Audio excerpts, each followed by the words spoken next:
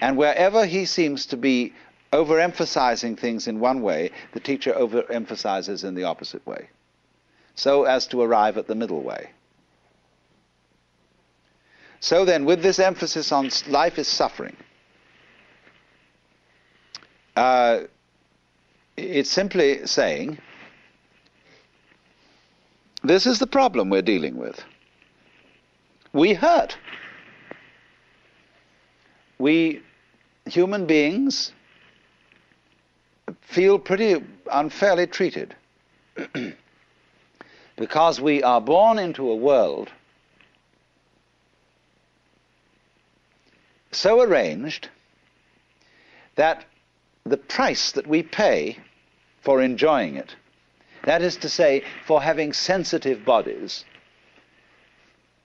is that these bodies are at the same time, because they are sensitive, capable of the most excruciating agonies.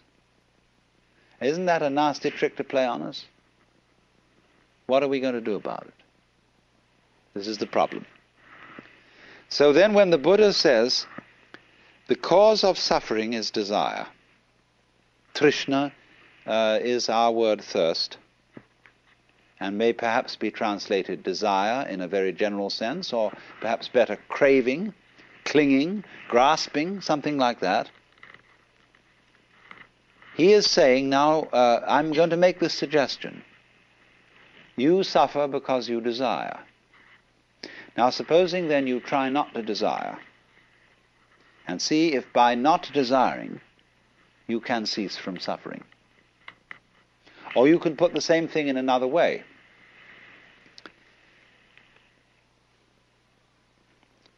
You can say to a person, it's all in your mind. there is nothing either good or ill, but thinking makes it so. And therefore, if you can control your mind, You've nothing else that you need control. For example, uh, you don't need to control uh, the rain if you can control your mind. If you get wet, it's only your mind that makes you think it's uncomfortable to be wet. A person who's got good mental discipline can be perfectly happy wandering around in the rain. You don't need a fire if you've got good mind control. Uh, because if you've got uh, ordinary bad mind control, when it gets cold, you start shivering. That's because you're putting up a resistance to the cold. You're fighting it. But don't fight it. Relax to the cold. And uh, in other words, this is a matter of mental attitude, and then you'll be fine. Always control your mind. This is another way of approaching it, you see? Now then, as soon as the student begins to experiment with these things, he finds out that it's not so easy as it sounds. Not only is it very difficult not to desire, not only is it very difficult to control your mind, but there's something phony about the whole business. And this is what you're intended to discover. That, namely, when you try to eliminate desire in order to escape from suffering, you desire to escape from suffering. You are desiring not to desire. In other words, I'm not merely playing with logic. I'm saying that a person who is escaping from reality will always feel the terror of it. It'll be like the hound of heaven that pursues him. And he's escaping in a way, even when he's trying not to escape. And it was this point, you see, that this method of teaching was supposed to educate from you, to draw out from you. Not by saying to anybody all this in the first place, but by making the experiment not to desire, or the experiment to control your mind thoroughly, this is the first step. You, to understand this, you must go through that, or some equivalent of it. So as to come to the point where you see you are involved in a vicious circle.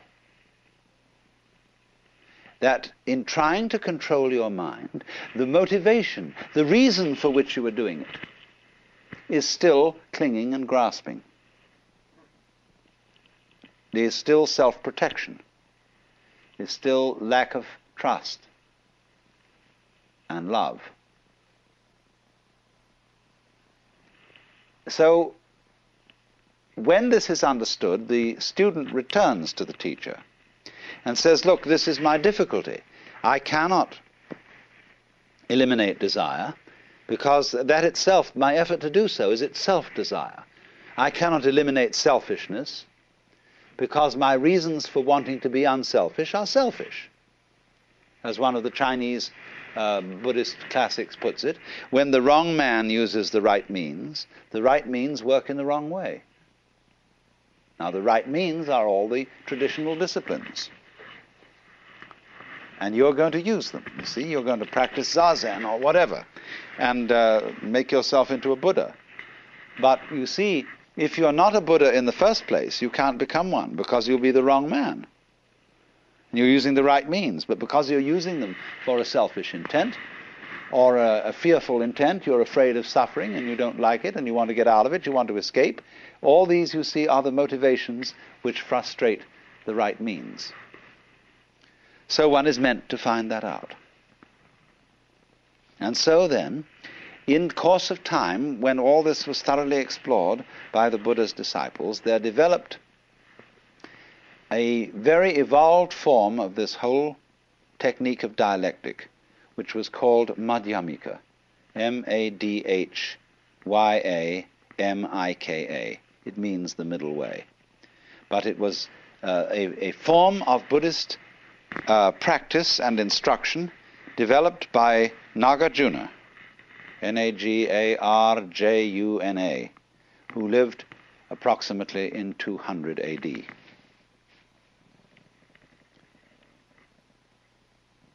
Nagarjuna's method is simply an extension and uh, drawing to logical conclusions of the method of dialogue that already existed, except that Nagarjuna took it to, a, to an extreme.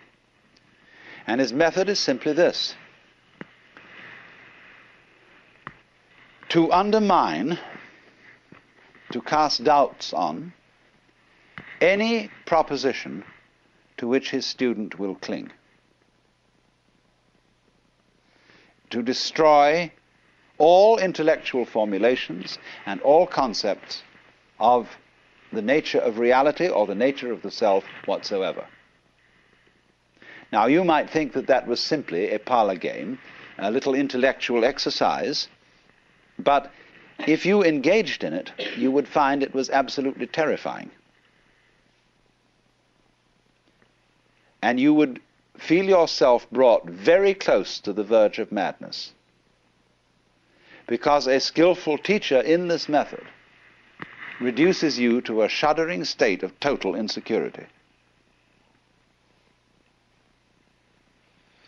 I have watched this being done among people you would consider perfectly uh, ordinary, normal Westerners who thought they were getting involved in just a nice abstract intellectual discussion.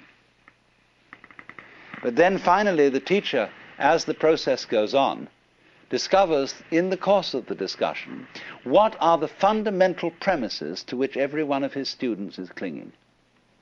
What is the foundation of sanity? What do you base your life on? And When he has found out what that is for each student, he destroys it. He shows you that you can't found a way of life on that that it leads you into all sorts of inconsistencies and foolishness. And the student turns back to the teacher and says, Well, it's all very well for you to, to pull out all the carpets from under my feet. What would you propose instead? And the teacher says, I don't propose anything. He's no fool. he doesn't put up something to be knocked down. Uh, but you see, here are you. You, if you don't put up something to be knocked down, then you can't play ball with the teacher. and you may say, well, I don't need to. Then on the other hand, there's something nagging you inside telling you you do. And so you go and play ball with him, and he keeps knocking it down. Whatever you propose, whatever you cling to.